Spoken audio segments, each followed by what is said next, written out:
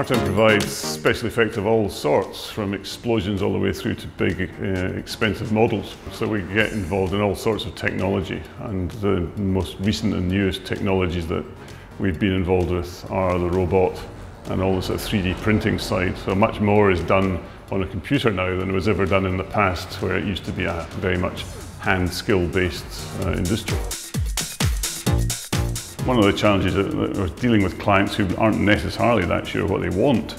And so you have to tell them what you think they want and get them to approve things. So one big thing is if we can do that on the computer and send them a drawing which is rendered, then you know they can go, oh yeah, yeah, that is it, that's it, yeah. And then we can sort of forget about that and carry on with the process. Well, Delcam um, has become uh, you know, an integral part of the, of the pipeline, and Maya was before that in, in terms of dealing with 3D images and trying to render things to give us an interesting visual um, to, to show to a client.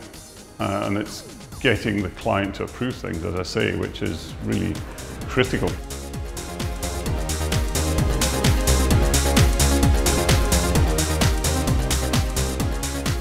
Well, here at Artem, I um, basically Andy will get in a model from TurboSquid, say, and then my main job is just to uh, to pose the figure.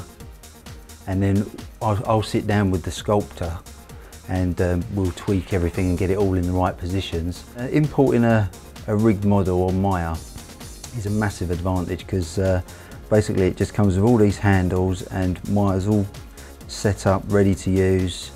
And I can just grab them and just pose, depending on the model, just pose every every little bit of the model and it's all very easy to use. It is just massively advantageous.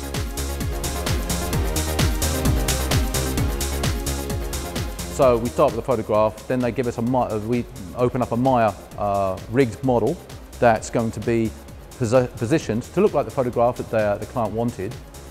Then we're going to export the model again, like I said, from Maya into uh, another software, a sculpting package that's going to allow us to fine tune the model, add on the clothing, uh, change the muscles, give the look that they want for the uh, triathlete in this case. Um, and once we're approved on that, then we can start chopping the pieces up and put them into Delcam to be put onto robot cutting. Well, once the model's been finalised, uh, it's output as an STL file, which we then input into PowerMill Robot. Uh, from then we create roughing and finishing passes which uh, then uh, put into the robot interface which we can now run a, a, simulation to see how it machines cuts and that will be then uh, output as G-code which will be sent to the KUKA robot for machining. Because we're using STLs, um, creating boundaries is very important uh, to be able to get to certain areas of the model so that's very useful. Um, being able to use uh, ViewMill to see how it's going to cut the, the material and, and, the finish we're going to get and uh, the robot interface just purely being able to see how the robot reacts in the cell and, and, make sure it's not going to do something you know silly or it's going to crash into the table or the work is very useful as well. What the robot gives us is the ability to uh, machine very large pieces and not have to break them down into really small pieces so keep them in just uh, as few or many pieces as possible to assemble later.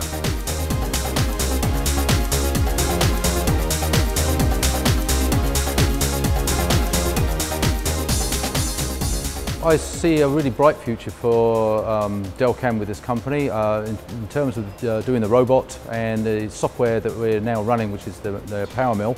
Uh, we're delighted with it. We're going to try and extend that to the other machines now.